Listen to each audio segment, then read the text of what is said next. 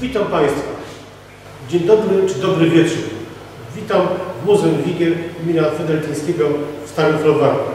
Mam na twarzy maseczkę, którą pozwolę sobie zdjąć w tej chwili. Sami Państwo rozumiecie, mamy trudny czas, czas epidemii, mamy maj roku 2020. Przed rokiem tutaj w Muzeum Wigier gościliśmy kilkaset osób. Poprzednia Noc Muzeum była poświęcona nietoperzom, ale chciałem Państwu przytoczyć anegdotę związaną z tą właśnie Nocą Muzeów sprzed roku. E, Podeszła do mnie pani e, z takim małym chłopczykiem w wieku 3, może 4 lat. Powiedziała tak, proszę Pana, ja tu przyszła Noc Muzeów z synkiem, obiecałam mu, że pokażę mu dinozaury. No, w muzeum są dinozaury. Trochę się stropiłem, bo no, w Muzeum Wigier, Wigierskiego Parku Narodowego nie pokazujemy generalnie dinozaurów. Tym niemniej przypomniałem sobie, że mamy w zbiorach, y, no właśnie, skamieniałość pochodzącą sprzed kilkudziesięciu milionów lat. Jest to fragment żebra krokodyla.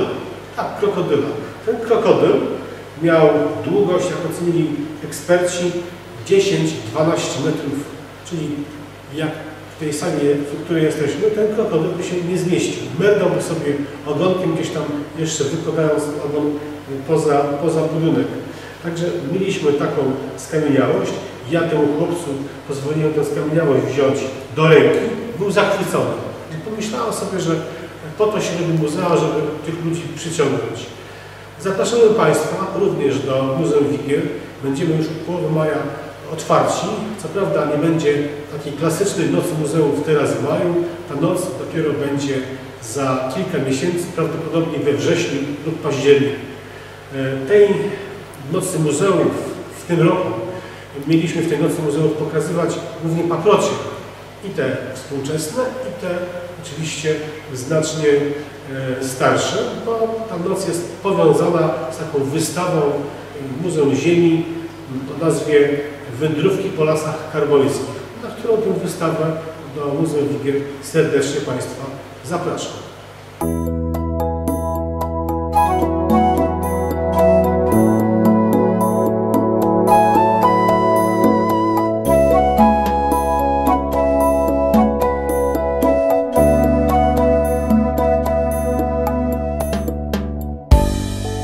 Jesteśmy w sali, gdzie jest pokazywana wystawa wędrówki po karbońskich lasach. Są tutaj pokazywane głównie skamieniałe rośliny, które żyły kilkaset milionów lat temu, właśnie e, w czasach karbonu.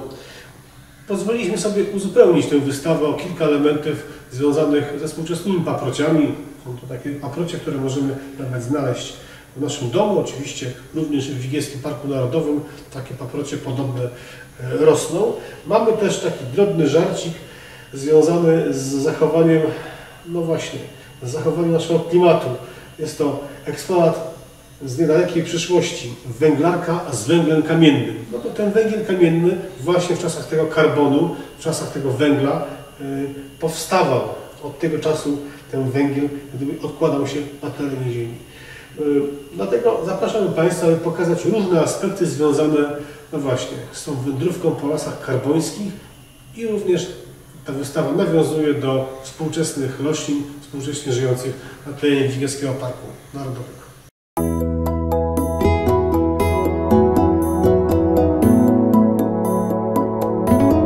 Jesteśmy przy tablicy z napisem Zaca kocham Wigry.